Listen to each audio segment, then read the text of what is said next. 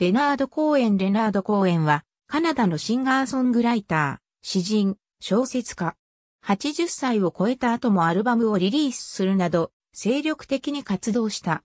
代表曲は、ハレルヤなど、九種の選ぶ、歴史上最も偉大な100人のシンガーにおいて、第54位。1934年、ケベック州モントリオールの裕福な中流、ユダヤ系家庭に生まれる。父親は、モントリオールで大きな服飾店を経営。公園にとって、ショッキングな出来事は、彼が9歳の時に、父親が他界したことだったが、父は公園が勉学をできる程度の信託財産を残していた。少年時、詩や作家として公園を奨励したのは母親だった。13歳でギターを弾き始め、地元のカフェでカントリーウエスタンの曲を演奏する。1951年、マギル大学に入学し詩人としてのキャリアを積む。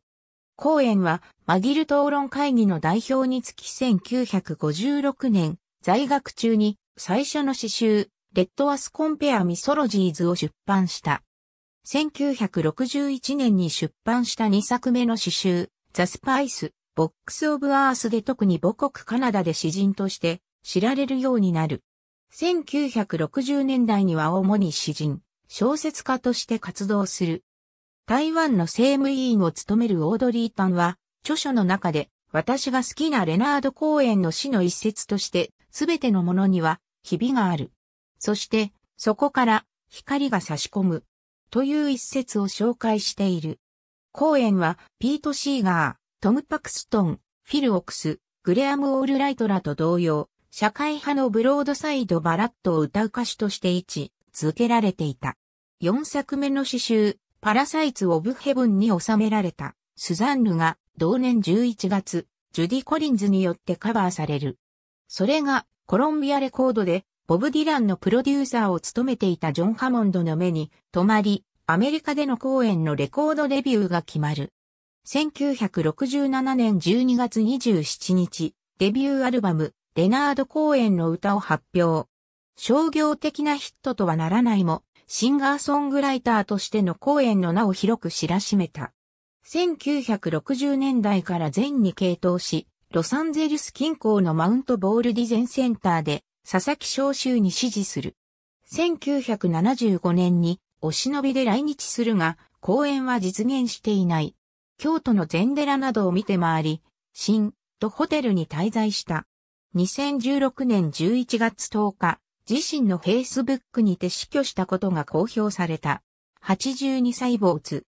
レナード・コーエン、シンガー、ソングライター・オブ・ラブ、デス・フィロソフィカル・ロンギング、ダイズ・アット82、ROCKLIST.net、Q マガジンリスツ。900グレイテストシンガーズ2013年5月21日閲覧 iTunes Music レナード・コーエンバイオグラフィー。2015年1月閲覧。シモンズ、シルビー、 I'm Your Man, The Life of レナード・コーエン NY ハーパーコリンズ。2012現代ビューティフルルーザーズニュージーランド生まれでフランスで活躍した三浦久志、追憶の60年代、カリフォルニア P123 平凡社新書1999年、レナード・コーエン氏が死去、伝説的歌手で詩人。ロイター。httpjp、ロイター .com、アーティクル、レナード・コーエン大豆維持部分13609、J2016 年11月11日閲覧。U2 のボノ、レナード公演のハレルヤを世界で最も完璧な曲だと語る ro69.jp。2013年12月12日閲覧ありがとうございます。